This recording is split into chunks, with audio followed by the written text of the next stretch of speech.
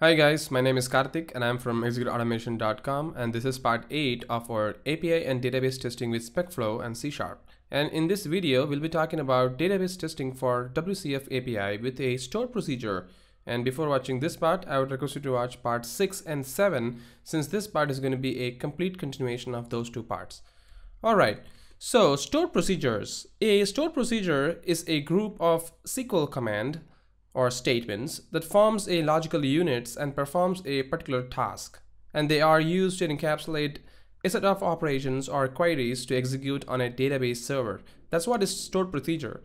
And stored procedure is something which is very, very intrinsic in a, a database operations system because most of the complex query with a lot of logics will be coupled or combined into one single store procedures and which is available in your most of your applications. So if you have uh, a database uh, then surely if you see the stored procedures there will be a lot of stored procedures available which is going to perform a lot of operations. Because stored procedure also as it mentioned here encapsulates the actual business logic behind the scenes and it is very very helpful when performing a complex operations which is especially in the backend or the SQL server. All right so for that, let's flip to SQL Server. So this is our database employee DB and you can see there is something called programmability and if you click this programmability you have something called store procedures. But currently in our database we really don't have any store procedure to perform any kind of uh, complex operations because we have a very very simple UI application which performs very very simple operation especially the DDL and DML commands and that's the reason we don't have any stored procedure for now. So what we're going to do for our testing purpose is, so far in our video series, we were discussing how to execute a very, very simple command to perform some operations uh, in our feature file as you saw here, right? So right now what we're going to do is uh, we are going to perform a little complex operation to perform an additional operations. So in our previous scenario, what we did was uh, we, we did this we connected to a PF service and then we updated the salary and employee in the database and then we checked if the employee contribution uh, for this particular employee ID is correct or not. But there was a small glitch while we were working in the last video and we also told that we will be discussing later and this is the video which we're going to discuss about it. So the problem which we faced in our last video was this. So if we just update the salary of the employee in the database, which we are just supplying, uh, it is not going to perform a 100% real operation because if you see the business logic of our application, it actually requires the duration worked also as one of the parameter. So you can see that it also expects for the duration worked because without duration worked, it is not going to exactly calculate these operations.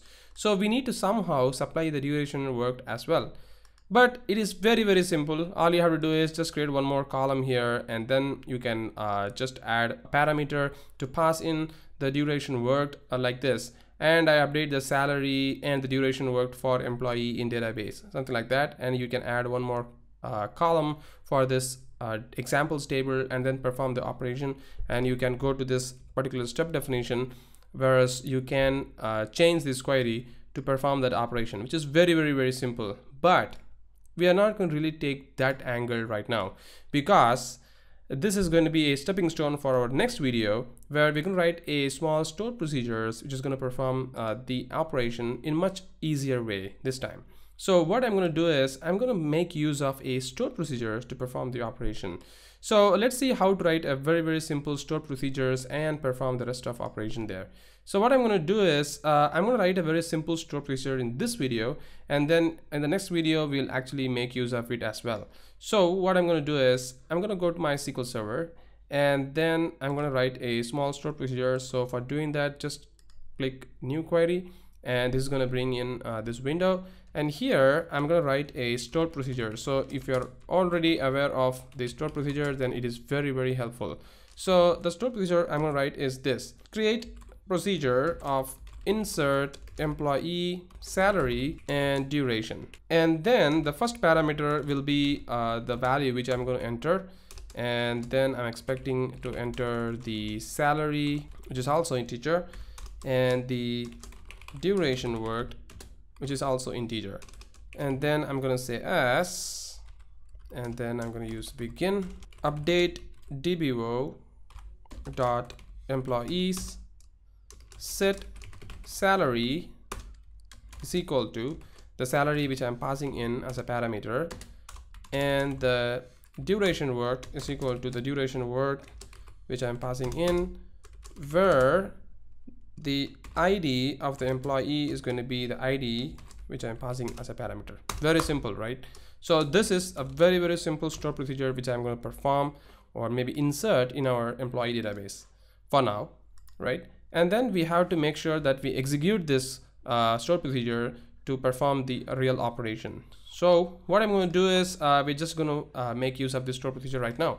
So in order for a store procedure to be executed in our uh, SpecFlow we have to write a logic in our database helper to perform that operation. So the database extension helper or the database helper extension in our EA Auto framework actually has got the capability of executing a stored procedure and we're going to make use of that particular code in our SpecFlows feature and then use that for executing it right? So what i'm going to do is basically i'm just going to execute the stored procedure which we have created in our database. So uh, what i'm going to do i'm going to change this uh, scenario outline a little bit and then i'm going to add something like this. So it says verify if employee PF contribution for the specific employee. So uh, is the same line as you can see and I update the salary duration worked for employee ID and then I check it. So I have added one more uh, column here like duration worked and I have also passed in the value here. And you can see this time I'm changing the salary a little bit and also the employee contribution. So because the duration worked is different. Uh, similarly, the salary and the employee contribution is different for the employee Prashant as well, right? So we have to implement this particular step definition, which is not implemented yet. So what I'm going to do is I'm just going to uh, implement that step definition here. So this is the step definition. And here, as you can see in the feature, it says salary, duration worked, and employee ID. So the parameters are going to be salary, duration worked, and employee ID. int salary duration worked, employee ID. I need to make use of store procedure which we have written and we have to execute the stored procedure. So in our previous video, we were discussing how to execute the query using this execute query method, right? And this time we're going to execute a stored procedure. So let's see if we have a method for this connection string, this guy. So I'm just going to see if I have something like execute stored procedure or something like that. And you can see there is something called execute proc with param dt, which is great. So we have a method to perform that operation. So if you see that method, what it's actually expecting, it is expecting us to pass the query and it's going to return us a data table, right? So I'm sorry. Execute proc with param dt is actually expecting a store procedure name and it is expecting us to pass a hash table so suddenly i'm bringing in something called as hash table so what is that so what i'm going to do is maybe like let's uh, comment this and i'm going to create a hash table and let's call this as uh, data. Is equal to new hash table. And then the data dot in hash table you can do a key value pair operation. So the key which is going to be something like i'm going to insert the id and this is the id and then the ID is going to be the employee ID. Similarly, I'm going to insert data salary and this is going to be the key and the salary is going to be salary, right? And then I'm going to insert data dot add of duration worked. So the duration worked is I'm going to paste it right here and then I'm going to give duration worked. Great. So this is the data which I, which I got. So my method, the execute store procedure method will actually expect for this value to be uh, passed. Execute proc with uh, param dt and then I'm going to pass the parameter name as the proc name. Uh, so the proc name is nothing but our sp insert employee salary and duration work. So make sure that you have this store procedure in your database before you execute uh, this code and then I need to pass the hash table which is nothing but my data right so I'm gonna save it actually this method also returns you uh, some value as a data table if you actually return any value but currently we are not returning anything so uh, it is just fine because it's just in updating the database that's it so it is totally fine And now if I try to run this particular uh, step definition or the scenario, uh, it will actually execute. So what I'm going to do is I'm going to just build the solution this time. So we have this verify if employee PF contribution for specific employee. So this is the uh, step definition. All right, so it got executed. And now if I try to uh, see the output of this particular method, and you can see that it's got passed right? Without any problem, everything is running fine. And you can see that I have inserted or updated this time 4300 for the employee Karthik and 40 as the uh, duration worked and one as the uh, employee ID, right? So if you go to the table, select star from employees, you can see that this time the value of Karthik is 4300 and the duration is 40 right so earlier it was uh, i think it was 4000 and the duration work was 24 right? So this is how you can actually verify uh, how to perform the operation.